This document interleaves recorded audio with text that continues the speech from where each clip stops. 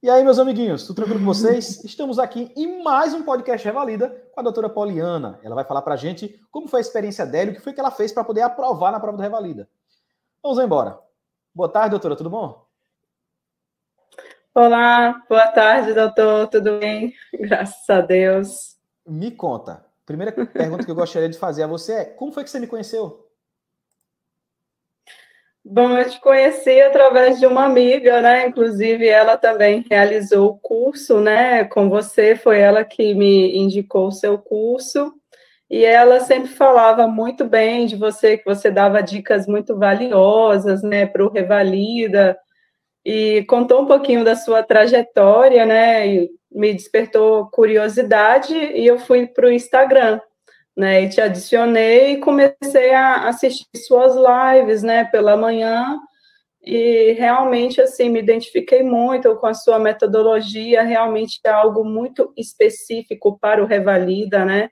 Porque somente processo sabe exatamente né, o que nós precisamos, os temas mais corriqueiros, a forma que o INEP pergunta, e assim, foi muito importante isso, esse direcionamento seu. Né? E aí eu comecei a assistir as lives, gostei e já entrei em contato, né? E ela, vamos fazer o curso prático, bora. E aí me inscrevi e fui. 1.300 quilômetros de distância e fui na fé. me conta, vou, deixa eu fazer algumas. Deixa eu falar um pouquinho sobre a sua experiência antes na prova teórica e depois a gente fala sobre a prova prática. É, lá na uhum. prova teórica, como foi que você estudou para a teórica? Olha, uh, de quando eu fui aprovada da primeira vez que eu estudei completamente errada, quantas vezes equivocada. A... Quantas vezes você já fez a prova? Eu passei na segunda vez na teórica. A primeira vez realmente eu fui muito equivocada, né? Muito sem discernimento e depois realmente, né? Eu comecei a te seguir e bati em cima, né, realmente da prova. E o mais importante de tudo, realmente, é quem conhece o estilo da prova do INEP. Se você me perguntar de olhos fechados, assim, quais são os temas mais importantes, eu sei um a um, assim, porque a gente estuda os temas, e aí eu comecei a ter esse direcionamento seu e não perder tempo com algo que fugia do foco do Revalida, e foi assim que, graças a Deus, deu certo. Quais dicas você daria para uma pessoa que vai fazer a prova teórica que você acha que são indispensáveis para aprovar no Revalida? Primeiramente, né, estudar as provas, né, eu imprimi todas as provas, né, e rea realizar as questões, isso que você bate muito em cima, e é verdade, eu achava que não, que eu tinha que entender a fisiopatologia, a introdução do tema, e aí eu vi que não deu certo, né, então é, é em cima de questões, em cima dos principais temas, né, rever todos os assuntos já cobrados nos anos anteriores, e não tem erro, sabe? É muito certo e dá certo mesmo. Entendi. Quando você então você fez duas vezes a prova e o que foi Sim. que você acha que é que foi fundamental para a sua desaprovação da primeira vez e para a sua aprovação? Que foi a coisa mais importante? O que mudou tanto de uma prova para outra? Sim, mudar realmente o estilo de estudo, Rafa, é, e fazer as questões. Entendi. Realizar as questões. Entendi. Isso aí, sabe, é, foi principal. E para a prova prática? Você aprovou lá na prova teórica e agora você foi estudar para a prova prática. Como foi? Uhum. Como foi que você se preparou? O que foi que você fez? Me conta. É, Primeiro também, né, é, eu, eu assistia né, o curso e eu tinha, tenho duas amigas, né, que eu praticava. Todos os dias a gente praticava. Né, e até então eu não conhecia muito o esqueleto da prova, né? A gente meio que para fazer às vezes um checklist, a gente ficava uma hora fazendo checklist e assim às vezes se perdia, não tinha uma metodologia, um pensamento, né, bem assim correto, né? E aí eu comecei a entender realmente a tua forma de ensinar, né? E a questão do, do esqueleto mesmo, eu tinha resistência de seguir, mas é o que funciona, é o que dá certo. Inclusive, numa estação do Revalida, que na hora me trocaram de sala, eu pensei que eu estava em cirurgia e eu estava em clínica médica. E aí eu errei completamente o diagnóstico, sabe? Fugi mesmo. Mas eu lembrei do esqueleto e fui perguntando, e nessa estação realmente eu não dominava esse tema. Segui o passo a passo que você tinha ensinado lá e consegui, foi a estação que eu consegui a nota mais baixa, eu consegui 50 pontos, né? Eu fiquei com 5 na estação. E assim, realmente me ajudou muito mesmo, muito. Vamos Sem falar palavras. da sua preparação para a prova prática e daqui a pouco a gente fala sobre, sobre as dicas que você daria. Então, lá no curso da prova prática, uhum. tem a parte online, a parte de mentorias e a parte presencial. O que foi, como foi a, a história em cada uma dessas partes? Como foi que você estudou? O que foi que foi importante em cada uma dessas partes para você?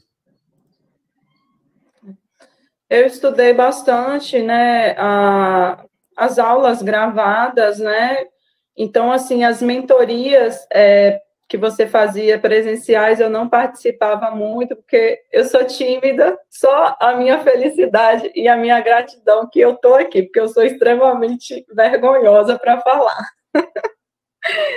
e assim, e foi muito bom. E em relação à parte prática mesmo, mais real é só o próprio INEP, porque foi assim uma prática muito fidedigna, muito séria, né?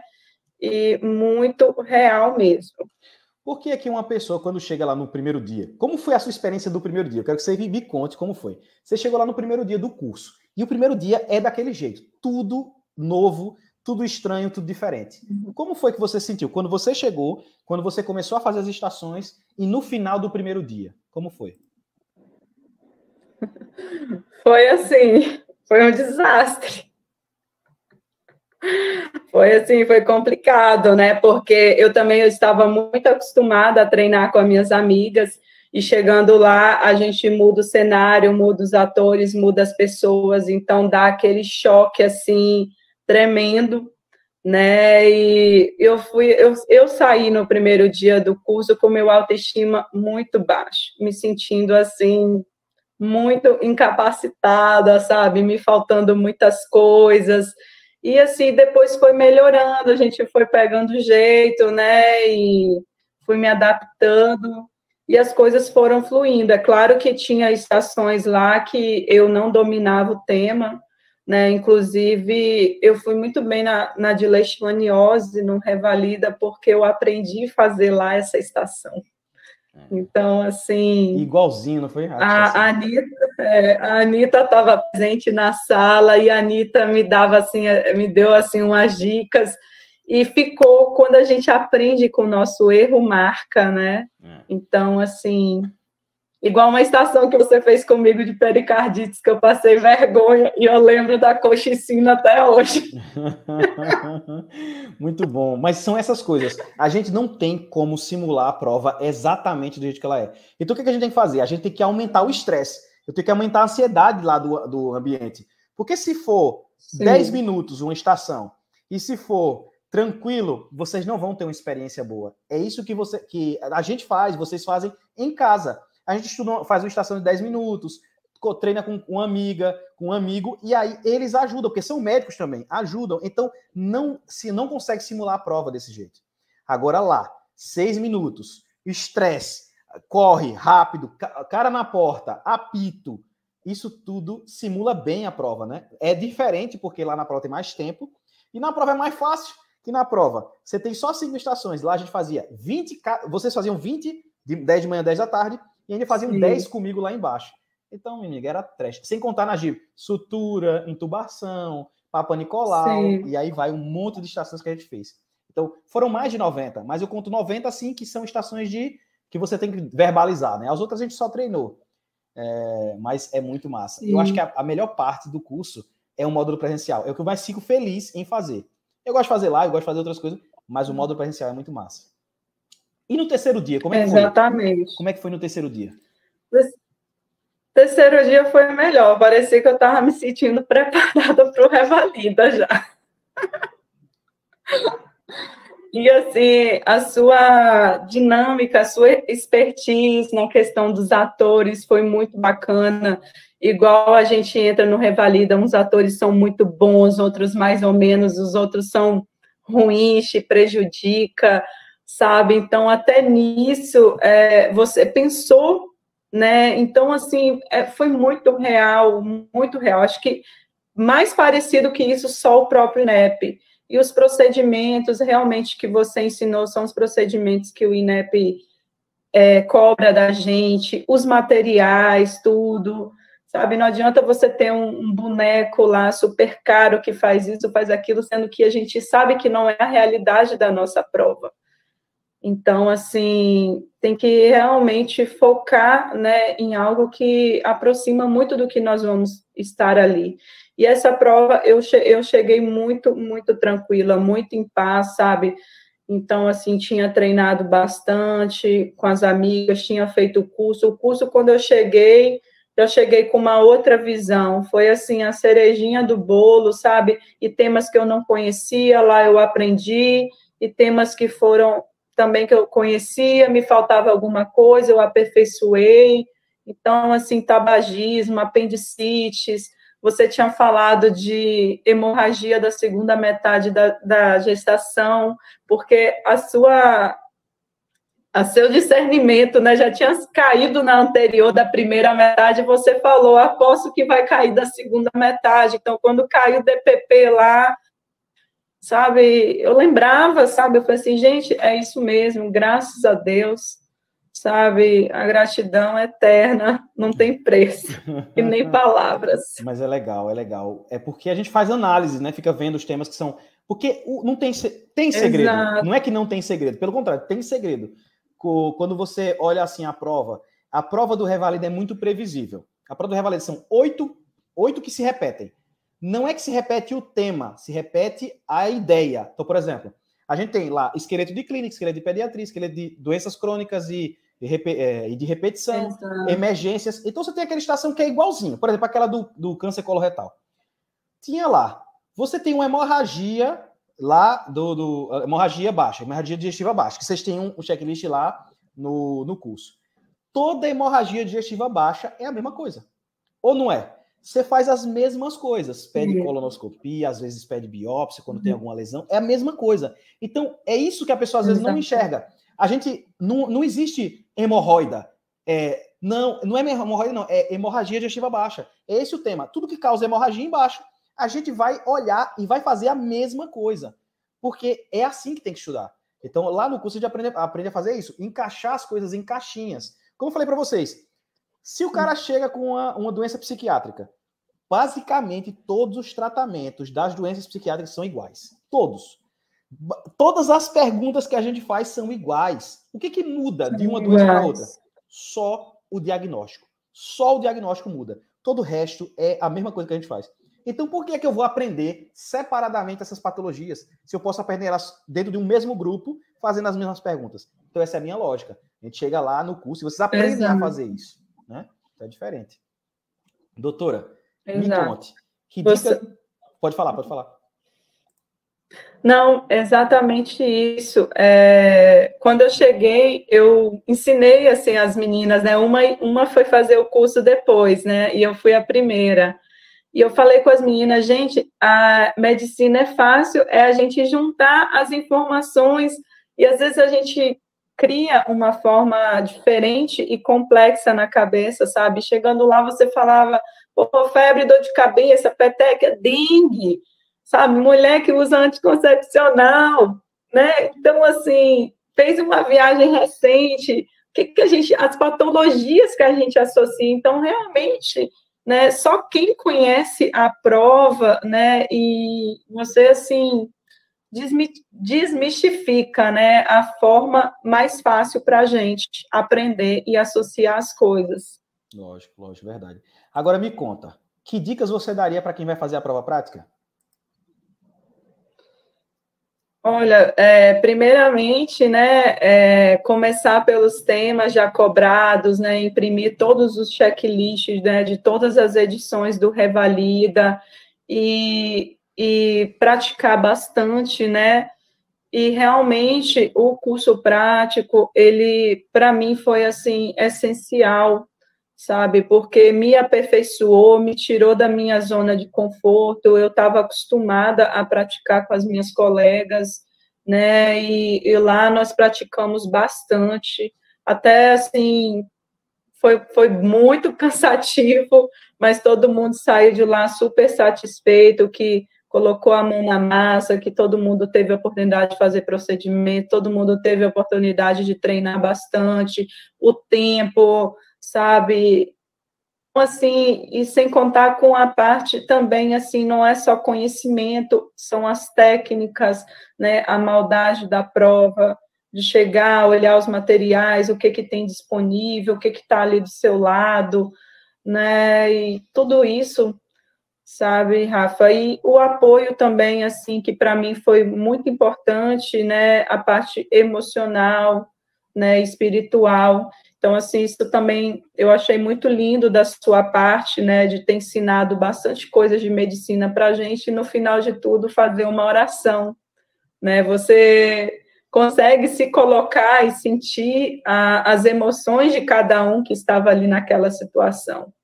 Então, assim, isso é um lado muito humano que eu admiro muito, muito em você. Sabe? Não vou falar muito, senão eu choro. é o terceiro dia, é o dia do chororô. É o dia do olho vermelho. É o dia do olho vermelho. Porque ali, é como a gente falou, eu sou. Eu não me vejo como um professor, assim, para vocês. Eu gosto muito de ensinar. Mas eu, a minha, se eu dissesse assim, o que é que eu sou do Revalida? Eu sou um coaching do Revalida. Porque eu não tenho só que passar para vocês o conhecimento mas eu tenho que colocar na cabeça de vocês que é possível. E todo mundo fala que não é possível.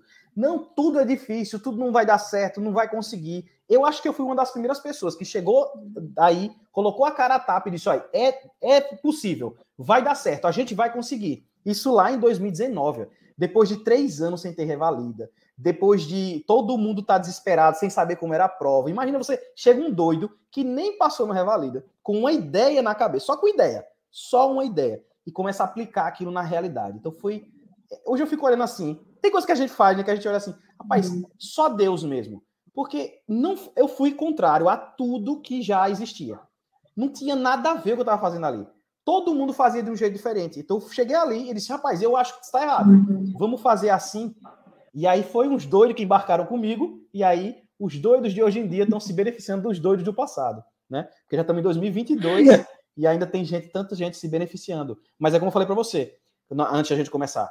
Isso que você está fazendo aqui, essa experiência que você está trazendo, essas coisas que você está nos contando, é o que faz essa, é, essa fórmula ela se aperfeiçoar cada vez mais. Uhum. Ela chegar a, a, perto da perfeição. Né? Quando eu converso com vocês, é, são vários alunos, é uma, uma amostra muito grande de pessoas que aprovam, e aí vocês podem me contar o que é, que é mais importante, o que não é importante, o que é que ajuda, o que não ajuda. Quando você chegou para fazer a prova, era o que você esperava ou foi diferente? Mesma coisa, Rafa, o mesmo cenário, sabe? Exatamente, sabe? É realmente assim, a gente acreditar que é possível e acreditar em você, sabe? Você realmente tem um pensamento muito positivo que você vai conseguir, que vai dar tudo certo e manter a calma, sabe? Na estação de pediatria, né, eu olhei os gráficos, né, e falei, né, que estava tudo adequado dentro dos parâmetros normais, né, perímetro cefálico, comprimento, peso. Aí a mulher cruzou a, a, a mãe, né, cruzou os braços, a atriz, e falou: Mas, doutora, a senhora tem certeza que está tudo normal? Aí, tipo assim, ela me fez uma pergunta de uma forma tão assim, que eu fiquei inibida. Aí na hora eu falei assim, não, peraí que eu vou dar mais uma olhada. Então, assim, eu fiquei insegura comigo. E não é assim que a gente tem que se sentir, independente. É o que você está vendo ali, é o que você sabe, e, e mantenha-se firme. Aí depois eu virei para a câmera e me consertei, porque ela me deixou inibida. Então, assim, tem que acreditar As coisas dão certo quando a gente começa a acreditar no nosso potencial e entrar de cabeça erguida, sabe? Não, nós somos médicos, nós batalhamos, nós estamos aqui, só falta isso para acontecer e acreditar que a vitória chega. Lógico. E quando você viu lá aprovada, como foi a sensação? Nossa, é emoção demais. É uma sensação, missão cumprida, de felicidade, eu passei a noite, antes eu não dormia porque eu estava preocupada com o resultado, depois que eu aprovei, eu continuei sem dormir, porque a felicidade é tão grande que a gente fica assim, né, anestesiado. Será que é verdade? Aí você fecha o sistema do INEP, abre de novo, vem aqui, aí chama outra pessoa, olha aqui, mas confere aqui comigo se é o que eu estou vendo. Mas todo mundo fala isso, é interessante demais. Essa é a realidade para todas as pessoas todo mundo abre 20 vezes até o dia que você. Até você receber o, o, a universidade, que desse tudo certo, que você for lá pegar a revalidação, a apostila, vai ficar nessa, vai ficar olhando toda hora. Muito bom. Doutora. Exatamente. Eu quero te agradecer pela sua participação. Muito feliz de estar falando com você, muito feliz da sua aprovação. Quero lhe parabenizar, porque eu sei que é difícil, que a gente passa por muita coisa, que é uma prova desgastante, cansativa, e só quem faz essa prova que entende. Mas ninguém nessa, entende essa prova. Não adianta a pessoa que nunca fez tentar dar pitaco sobre o Revalida, porque não, não, é, não tem noção não, de quanto precisa de sentimento e toda essa carga emocional que ela, que ela dá. Mas eu queria que você falasse suas considerações finais para a gente terminar a nossa entrevista. Tá bem, Rafa. É, primeiramente, eu quero te agradecer mais uma vez né, pelo aprendizado, pela experiência, pela oportunidade do seu curso, sabe? Pela sua preocupação com, com a gente, né? Então, você se preocupa com antes, durante e depois. Antes de sair o resultado, você já tinha feito grupo, já estava preocupado com recurso, quem precisasse, se disponibilizou.